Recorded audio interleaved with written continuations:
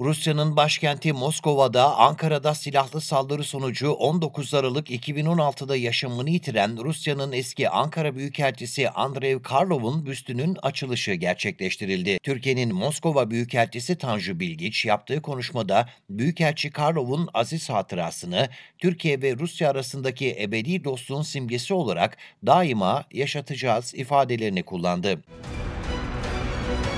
Yunanistan'da yeni yasayla eşcinsel çiftler evlenip çocuk evlat edinebilecek. Yunan parlamentosu eşcinsel evliliklere ve eşcinsel çiftlerin birlikte çocuk edinmesine imkan tanıyacak yasa tasarısını onayladı.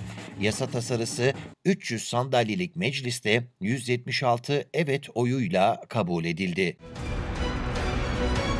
Meksika, ABD'den yasa dışı yollarla getirilen 50 bin silaha el koydu. Meksika Devlet Başkanı Andreas Manuel López Obrador, göreve geldiği günden bu yana ABD'den yasa dışı yollarla ülkeye sokulan 50 bin silaha el koyduklarını söyledi. Obrador, Meksika'da organize suçlarla mücadelede ele geçirilen silahların %70'inin ABD'nin Teksas eyaletinden getirildiğini aktardı.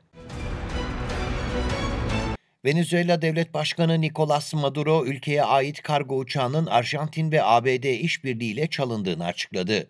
Maduro, Emtrasur adlı havayolu şirketine ait Boeing 747 tipi kargo uçağına Arjantin'in yardımıyla ABD tarafından el konulduğunu söyledi. Bunu hırsızlık olarak nitelendirdi. Maduro, ülkenin iki düşmanı olduğunu belirterek Venezuela'nın iki düşmanı var. Bizi sömürgeleştirmek isteyen Kuzey Amerika emperyalizmiyle kriminal bürokrasidir değerlendirmesinde bulundu. İtalya'da İsrail yanlısı tutum aldığı gerekçesiyle Rai kanalına protestolar sürüyor. İtalyan devlet televizyonu Rai'nin yöneticileri Sanremo Müzik Festivali'nde savaşı eleştiren mesajlar veren sanatçılara karşı İsrail'e destek açıklaması yapmıştı.